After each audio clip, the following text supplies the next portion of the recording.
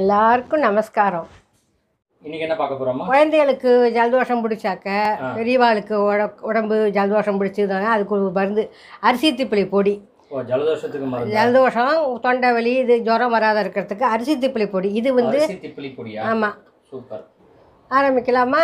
Start பண்ணலாமே. இப்போ அரிசி திப்பிலியும் மிளகும் வறுக்க போகிறேன் இப்போ. அரிசி திப்பிலியும் மிளகுமா? ஆமாம் ரெண்டும் அது- ரெண்டையும் போட்டு ஒன்றாவே வறுக்கலாம். அரிசி திப்பிலியை போட்டுவிட்டு உடனே மிளகையும் போட்டு வறுக்கலாம்.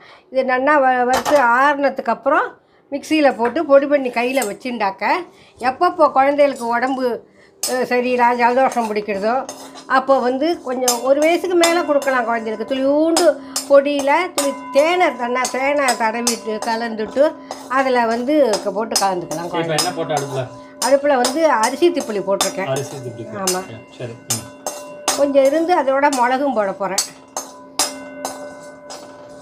இது மிளகு. இதுவும் போடுறேன். ரெண்டையும் சித்த அரிசி திப்பிலி போட்டு நாலு பரட்டை பரட்டை விட்டு மிளகையும் போட்டு பரட்டிடலாம். இப்போ வறுவிட்டாச்சு வாசனை வந்துடுத்து பார்த்தியா இப்போ எடுக்க போகிறேன் இதை. அரிசி திப்பிலியும் மிளகும். இது ஆறுனதுக்கு அப்புறம் மிக்சியில் போட்டு பொடி பண்ணி பட்டாட்டோ பொடி பண்ணி கையில் வச்சுக்க வேண்டியது இது. எப்போ வேணாலும் குழந்தைக்கு கொடு குழந்தைகளுக்கு தேனில் தக்க கலந்து கொடுக்கலாம். பெரியவா வெந்நீரில் கொதிக்கிற வெந்நீரில் ஒரு கால் டம்பர் வெந்நீரில் போட்டு ஒரு ஸ்பூன் அரை ஸ்பூன் போட்டு ஜலதோஷம் பிடிச்சிது. தலைவலி வந்து ஜலதோஷம் பிடிச்சி தலைவலி வந்து உடம்பு ஜுரம் வரா மாதிரி இருந்ததுனாக்க அதுக்கு வந்து இந்த பொடியை போட்டு குடிக்கலாம். ஒரு வயசுக்கு மேலே குழந்தைகளுக்கு தே தேனை விட்டு கலந்து ஒரு சிட்டிக்கை போட்டு தேனில் குழச்சி அந்த நாளில் பாட்டியில் எங்கள் பாட்டியில் எங்களுக்கு அது மாதிரி தான் செய்வாள் அதனால எங்களுக்கு தெரியும். இப்போ அரிசி புளியும் மிளகும் வானொலியில் பரட்டினேன் இல்லையா? அது ஆறுனதுக்கு அப்புறம் மிக்சியில் போட்டு பொடி பண்ணி பொடி பண்ணி நைஸாக பொடி பண்ணியாச்சு. சரி. அதான். இந்த பொடி பண்ணி எடுத்தா ஒரு பா ஒரு பாட்டிலில் போட்டு வச்சுட்டு எப்போ வேணாலும் ஆறு மாதம் ஒரு வருஷம்னாலும் கெட்டு போகாது.